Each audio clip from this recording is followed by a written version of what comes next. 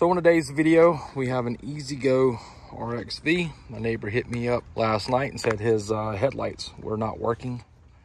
And if I could take a look at them. So I was figuring maybe we can do that on today's video. Without further ado, let's get it started.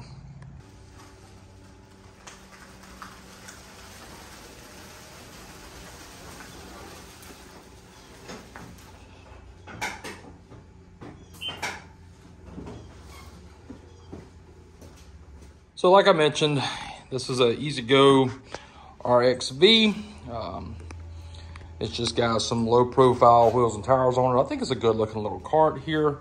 Little back seat on there. Um, he said it had like a Bluetooth speaker here. I don't know what this is. He keeps saying he's gonna maybe put another Bluetooth on here or something. Uh, it's got like a little light right here in the corner and it's controlled by one of these switches here. I think it's that one. It is kind of like a little dome light. Kind of a neat little idea there. But the headlights do not work on it. So I want to get the headlights on it for him working today. See what's wrong with it. Might not be much of anything. Might just be a blown fuse. I don't know. It's December 8th, South Carolina. I love South Carolina for the simple fact that it's still in the 70s, upper 70s at least. And uh, it's not cold. So, yep, perfect day. Leave the doors open here. I don't have to turn the air conditioner on. Don't have to turn the heater on to just do something. So, let's get the seat pulled off. And let's start diagnosing that switch to see if we have power right there. First thing I'm to check is power across all the batteries here driving it in. We have 50, 50.1 volts. Let's check each individual battery here. 12.32, 12.59, 12.60, and 12.56. This is the switch for the headlight down here. I'm just put it in neutral. Let's see if we can find continuity to which battery each one of these lugs sorry, each one of these lugs are connected to. It's not that one. It's not that one. It's not that one. So it looks like this back lug is connected down here. Let's just pull this switch out here to begin with. This is the switch we got here. Let's check continuity of the switch.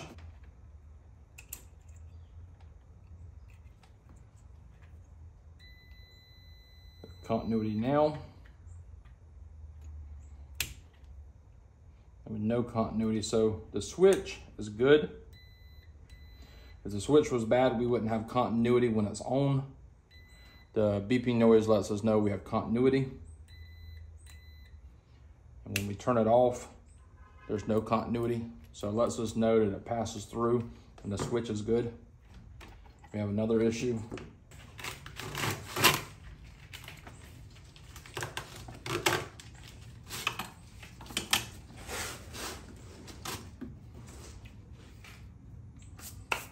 That's our issue. Look at how corroded this is. Man, this is nasty. So what we're gonna do, chopping all these wires off right here, chopping all the wires off back there, and then um, butt connecting them with some heat shrink butt connectors. Might make a little bit more sense there. Uh, that's not getting a full connection. It's basically eat through there. And it's probably the battery acid overcharging and it's getting through this right here and it's um, eating it up. So yeah, that's nasty.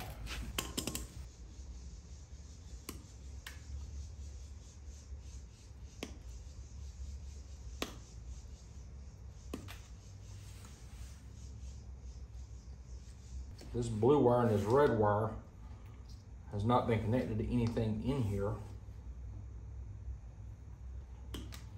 Those strip back. Let's strip back these right here. And I'm gonna just tie them up here just before we put any kind of butt connectors or anything on it to make sure everything's legit or as it should be. I connect those two wires there. And I'm gonna pull the switch up. We have headlights, they're working again. And there was just a plug down below that was completely corroded. Let's check and see if we have tail lights now. We do, we have tail lights. All right, so give me a knee saver right here. After I crimp them down, I like to just give them a little small yank, even though nothing's underneath the cart's gonna be yanking on them.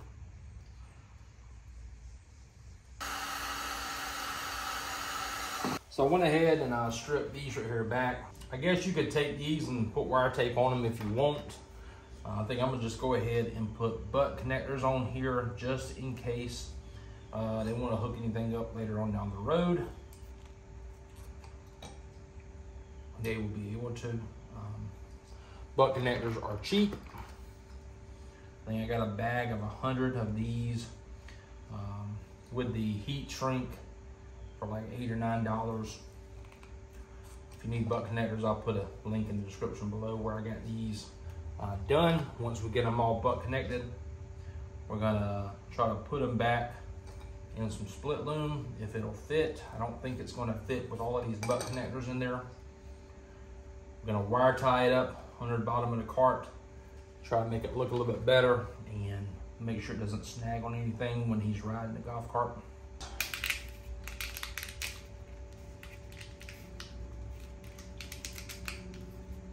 Might throw some some uh, black tape on it here, electrical tape, cover it all up before we put it back underneath the golf cart and wire tie it as well. All right, that's done.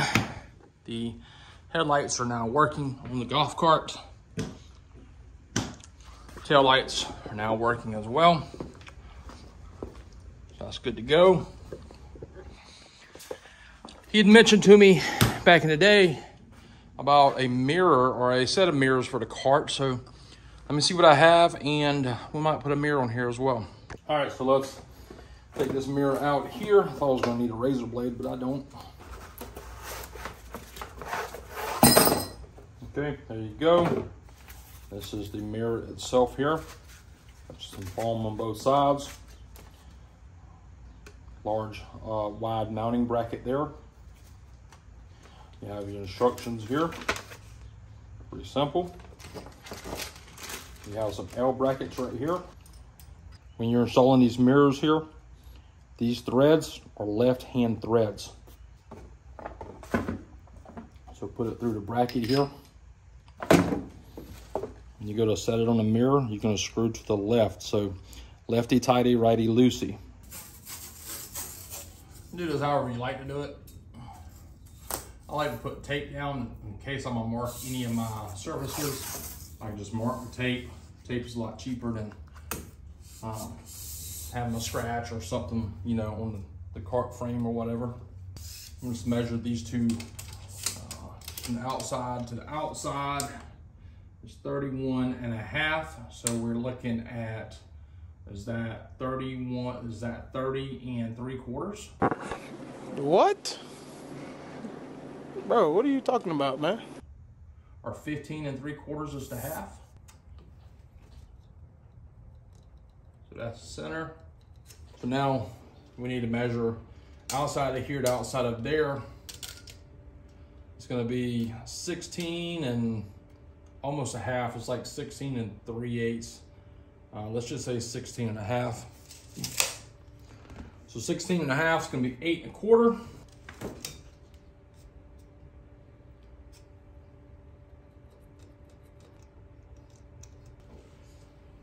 Next we can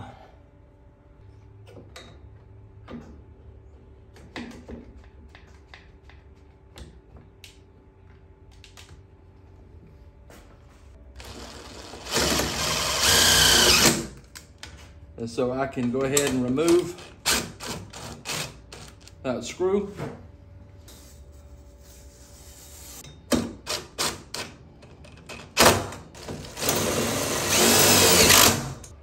Oh yeah, looks a lot better. Well guys, that pretty much concludes today's video. Uh, if I could say anything, this can happen to anyone. It could happen to Club Car, E-Z-GO, Yamaha. This was at fault here. And I believe this had a lot to do with the battery uh, overboiling with charging. causing it to corrode and rust out. So underneath the golf cart looked fine, but this right here was pretty bad. This is the, one of the main reasons we went ahead. I wanted to check the continuity of the switch itself.